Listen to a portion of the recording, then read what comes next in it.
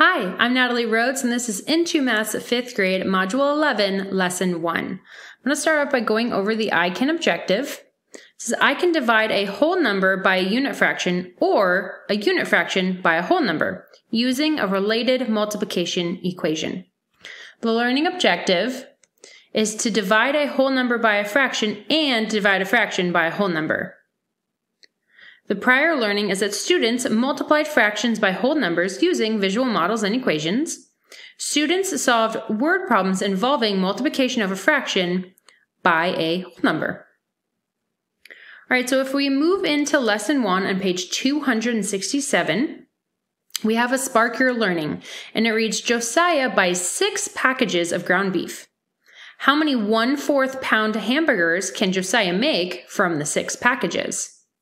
A classmate began solving this problem by using a visual fraction model.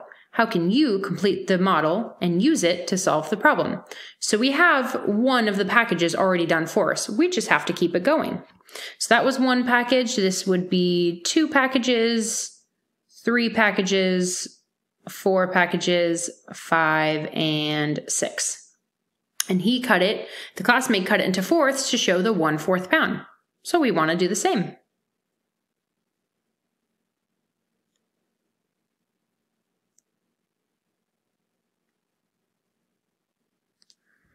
All right, so that would show our six packages of ground beef, each cut into fourth for our one fourth pounds. And the question is asking, how many how many hamburgers can Josiah make from the six packages? So if each one's a fourth, how many do we have? Well, if we know each square has a fourth and we have six, four times six is 24. That's the related multiplication that we're looking for. Is we know that each one has 4 and we know that there's 6, so 4 times 6 is 24. So we know that there are going to be 24 patties. All right, let's go ahead and flip the page.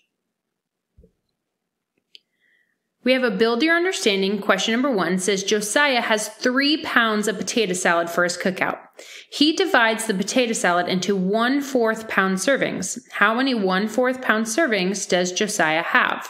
So very, very similar here. The only thing that's changing is our whole number. It's changing from six to three, but we're still dealing with a fourth. So it says write an equation to model the situation. And remember, what number do we start with? We start with our three pounds of potato salad. So that's going to be our first number is that three. Then we're dividing it up into fourth pounds servings. So we have our three divided by a fourth. Okay, and we're going to show it the exact same way as we did on number one. We had six, now we're just showing three.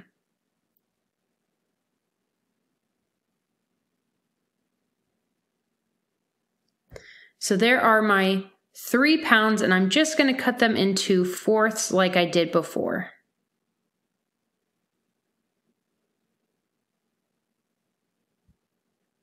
Now for B, it says how many rectangles did you draw to represent the dividend? Remember the dividend was the total that we started with. So how many rectangles did we draw? Well, we did one, two, and three. We did three rectangles. Then, how did you represent the divisor in your visual fraction model? So, our divisor was when we split it into four parts.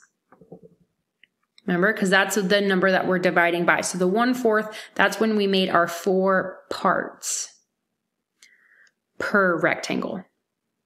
And D, how does your visual fraction model represent the quotient? Remember, the quotient is what we're looking for, and we're looking for how many servings does Josiah have. So that's how many parts total in all three rectangles, how many parts are there. So we're looking for the total parts. And then for E, how many one-fourth pound servings of potato salad does Josiah have? Well, this is where that related multiplication comes into play. So we have 4 and we have 4 three times. So 4 times 3 is 12. So we know that this would be 12 servings. And then for F, here's our final really bringing it home question How can you use a multiplication equation to represent your visual fraction model? So 3 divided by one fourth is going to be the same thing as 3 divided by 4 equals 12. And I'm just going to explain really quick how we're doing this, and this is how I would be teaching it in the classroom. If I had 3 divided by 4, the rule for dividing fractions is to flip the second number and then multiply. So what I mean by that is if I, and I'm just going to draw two lines here and show you what I mean. So if I had 3 over 1, and then I did divided by 1 over 4, I would flip that second number. So 1 over 4, I would flip the number so it's 4 over 1. So that would be equal to 3 over 1, and then it would be 4 over 1. So I just took that 1 and the 4 and I had them switch places. It's always the second number. Always, always, always that second number. And then once I flip it, I would multiply. So then if I were going to solve this, I would multiply the numerators and say 3 times 4 equals 12, and then 1 times 1 is 1. So I'd end up with 12 over 1. That's why this question is having you do the related multiplication because that's what you're actually doing when you're solving a division problem by a fraction, as you're flipping and multiplying. Just another way of looking at it. All right, that is it for this lesson. Go ahead and finish up the rest of these problems, and I'll see you back for Module 11, Lesson 2.